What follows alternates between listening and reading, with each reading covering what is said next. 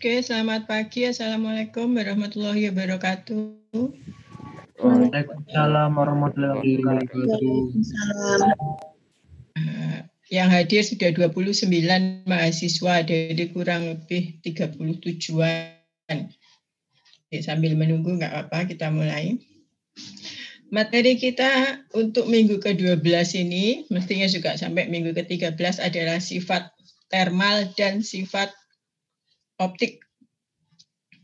Uh, untuk sifat mekanik, jadi untuk sifat mekanik rasanya mungkin Anda dulu-dulunya belum pernah belum menerima materi sifat mekanik baik di SMA, mungkin selama perkuliahan juga dari semester 1 sampai dengan 4.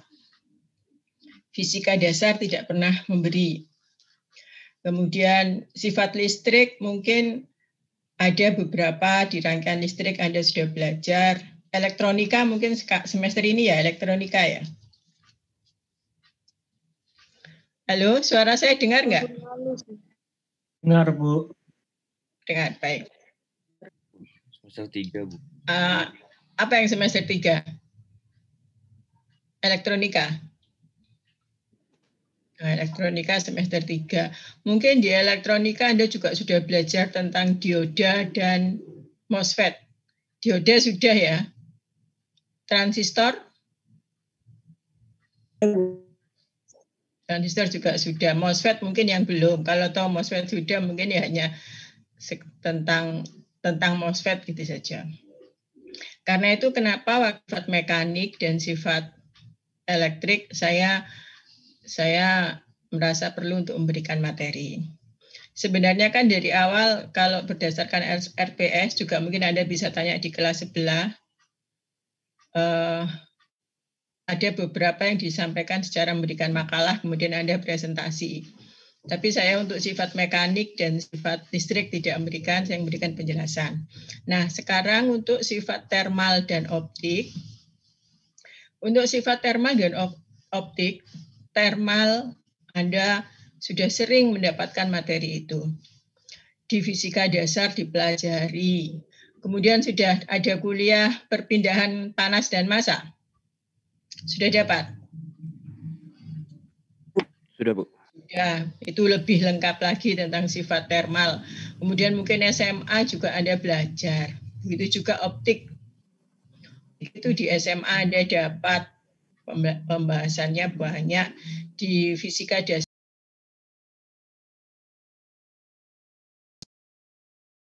pertama kuliah di TF sudah ada kuliah optik, teknik optika gitu? Ada, Bu. Optika sudah ya?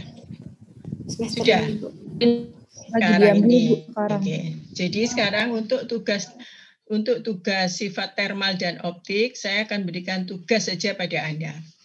Nanti untuk materi berikutnya, sifat magnet rasanya Anda belum pernah dapat, mungkin itu masih baru. Nanti saya akan memberikan materi. Jadi tolong dicatat tugas untuk sifat thermal dan sifat optik. Uh, saya tidak perlu, Anda tidak perlu membuat makalah atau ya makalah, tapi saya mau Anda membuat PPT saja. Bagaimana PP, tapi bagaimana PPT itu nanti bisa mencakup semua materi yang ada di buku Kalister. Juga tidak, silakan kalau mau menambah dari materi lain, tapi outline-nya berdasarkan materi di buku Kalister saja untuk sifat thermal dan sifat optik. Jika kemudian Anda merasa perlu untuk menambahkan materi dari buku-buku lain atau sumber lain, untuk pemahaman Anda lebih memahami, silakan.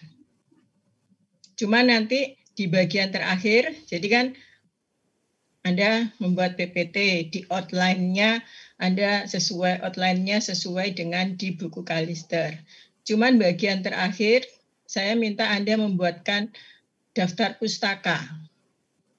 Jadi seandainya Anda ingin menambahkan materi-materi yang lain, kan berarti Anda harus cari sumber yang lain, itu harus dimasukkan. Jadi nanti terakhir dimasukkan daftar pustakanya.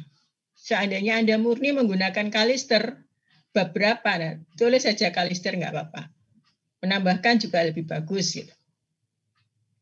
Nanti akan saya buat forum pengumpulan di My Classroom.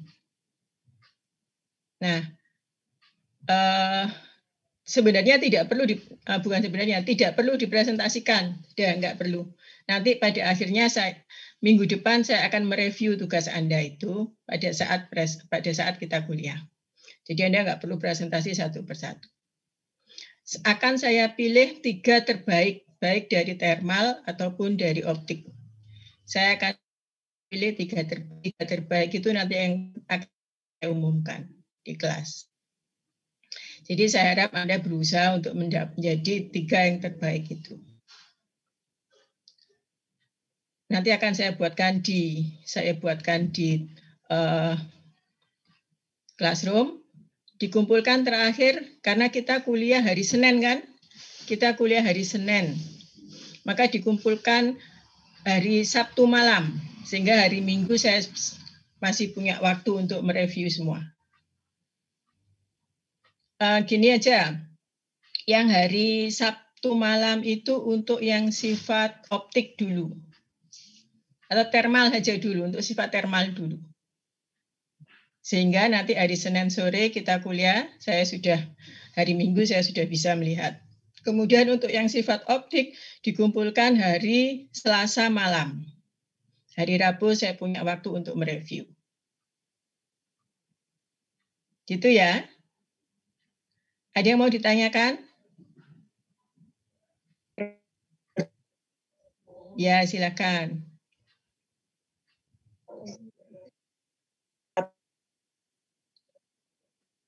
Ya, berbeda-beda. Jadi ada dua tugas nanti. Ada dua tugas dengan dua waktu pengumpulan yang berbeda juga. Ya, cukup jelas ya. Oke, ada lagi pertanyaan lain?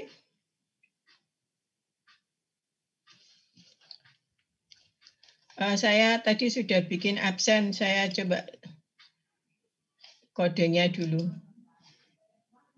Tadi mau masuk ke lewat HP susah. Ntar.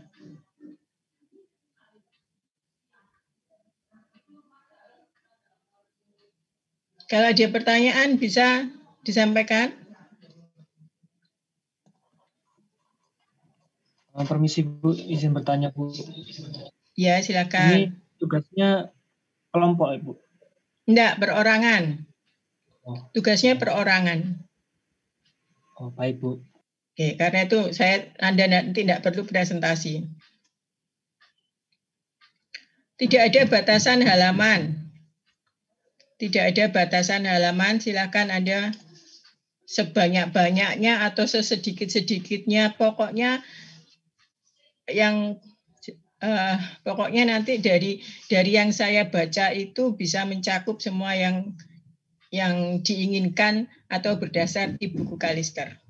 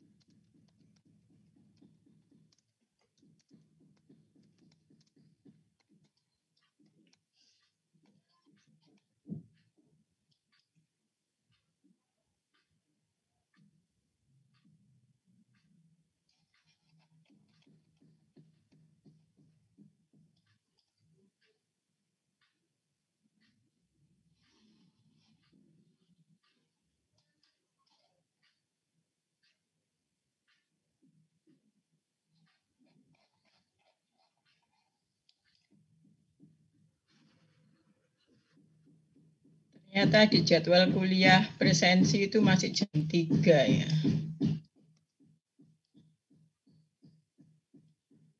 Berubah dari TS-nya. Sekarang saya ubah dulu.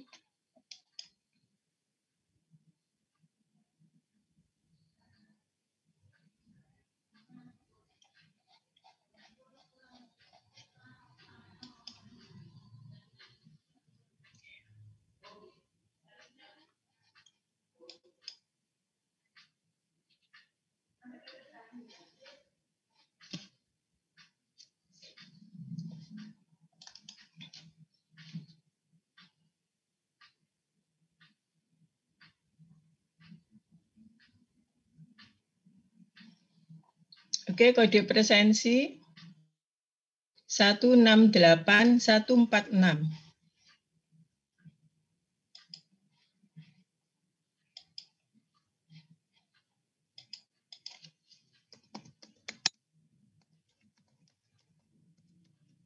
Satu empat delapan satu empat enam.